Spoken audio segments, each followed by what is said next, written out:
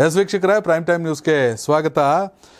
July ಒಂದರಿಂದ B P L ಮತ್ತು ಅಂತ್ಯೋದಯ ಕಾರ್ಡ್ದಾರರಿಗೆ ವಿತರಿಸಬೇಕಾಗಿರೋ ಹತ್ತು ಕೆ ಜಿ ಅಕ್ಕಿ ಸಮಸ್ಯೆಗೆ ಕೊನೆಗೂ ರಾಜ್ಯ ಸರ್ಕಾರ ಪರಿಹಾರವನ್ನ ಕಂಡುಕೊಂಡಿದೆ. ಆದರೆ ಅಧಿಕೃತ ಮುದ್ರೆ ಇನ್ನೂ ಬಿದ್ದಿಲ್ಲ.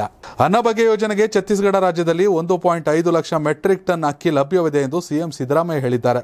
ಆದರೆ ಟ್ರಾನ್ಸ್ಪೋರ್ಟ್ ವಿಚಾರದಲ್ಲಿ ಸಾರಿಗೆ ವೆಚ್ಚ ಹೆಚ್ಚಾಗೋ ಸಾಧ್ಯತೆ ಇದೆ. ಯಾಕಂದ್ರೆ ಛತ್ತೀಸ್ಗಢದಿಂದ ಆಮದನ್ನ ಮಾಡ್ಕೋಬೇಕು ಅಕ್ಕಿಯನ್ನ. ಈ ಸಂಬಂಧ ಮಾತನಾಡಿದ ಸಿಎಂ ಸಿದ್ದರಾಮಯ್ಯ ಅವರು ಅಕ್ಕಿ ಏನೋ ಲಭ್ಯವಿದೆ, ಆದರೆ ಸಾರಿಗೆ ವೆಚ್ಚ ಹೆಚ್ಚಾಗಲಿದೆ ಎಂದಿದ್ದಾರೆ. ಈ ಸಂಬಂಧ ಮತ್ತೊಂದು ಸಭೆ ಕರೆದಿದ್ದು ಶೀಘ್ರದಲ್ಲೇ ಅಂತಿಮ ನಿರ್ಧಾರ ಬರೋದಾಗಿ ಸರ್ಕಾರ ತಿಳಿಸಿದೆ.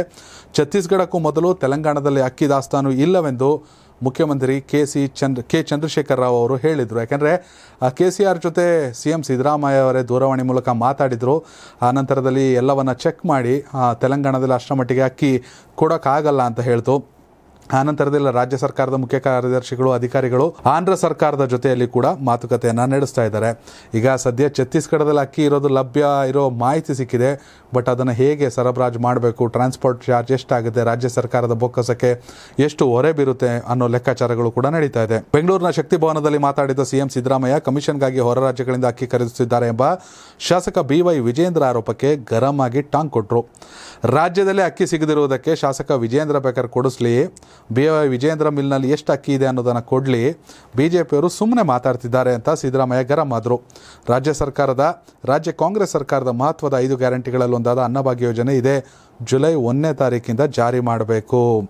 ಅನ್ನಭಾಗ್ಯ ಯೋಜನೆ ಜಾರಿಯಾಗಬೇಕು ಹೀಗಾಗಿ ಮತ್ತೊಂದು ಕಡೆ ಕೇಂದ್ರ ಮಲತಾಯಿ ಧೋರಣೆಯನ್ನು ತೋರ್ಬಿಡ್ತು ಅಕ್ಕಿ ವಿಚಾರದಲ್ಲಿ ಅಂತ ಸಚಿವ ಮುನಿಯಪ್ಪ ಕೂಡ ಗರಂ ಆಗಿದ್ದಾರೆ. ಒಟ್ಟಿನಲ್ಲಿ ಹೇಗಾದರೂ ಮಾಡಿ ನಾವು ಗ್ಯಾರಂಟಿಯನ್ನು ಪೂರೈಸ್ತೀವಿ. ಅನ್ನಭಾಗ್ಯವನ್ನು ಜನಕ್ಕೆ ತಲುಪಿಸೇ ತಲುಪಿಸ್ತೀವಿ. ಒಂದು ವೇಳೆ ಜುಲೈ ತಿಂಗಳ ಆರಂಭದಲ್ಲಿ ಸಣ್ಣ ಪುಟ್ಟ ಗೊಂದಲಗಳಾದರೂ ಕೂಡ ನಾವು ಅದನ್ನು ಯಾವ ರೀತಿ ಕಾಂಪನ್ಸೇಟ್ ಮಾಡಬೇಕು ಜನಕ್ಕೆ ಮಾಡೇ ಮಾಡ್ತೀವಿ ಅನ್ನೋ ಕಾನ್ಫಿಡೆನ್ಸ್ ರಾಜ್ಯ ಸರ್ಕಾರಕ್ಕೆ ಇದೆ. ವೀಕ್ಷಕರೇ ನಿಮ್ಮ ಪ್ರಕಾರ ಕೇಂದ್ರ ಸರ್ಕಾರ ದ್ವಂದ್ವ ನೀತಿಯನ್ನು ಮಾಡ್ತಾ ಅಕ್ಕಿಯನ್ನು ಕೊಡೋ ವಿಚಾರದಲ್ಲಿ ರಾಜ್ಯಕ್ಕೆ ಮುನಿಯಪ್ಪ ಅವ್ರು ಹೇಳಿರೋರಂತೆ ಸಚಿವ ಮುನಿಯಪ್ಪ ಹೇಳಿರೋಂತೆ ಮಲತಾಯಿ ಧೋರಣೆಯನ್ನು ಏನಾದ್ರು ಮಾಡ್ತಾ ಅಭಿಪ್ರಾಯವನ್ನು ಕಾಮೆಂಟ್ ಮಾಡಿ. ಇನ್ನು ಮುಂದೆ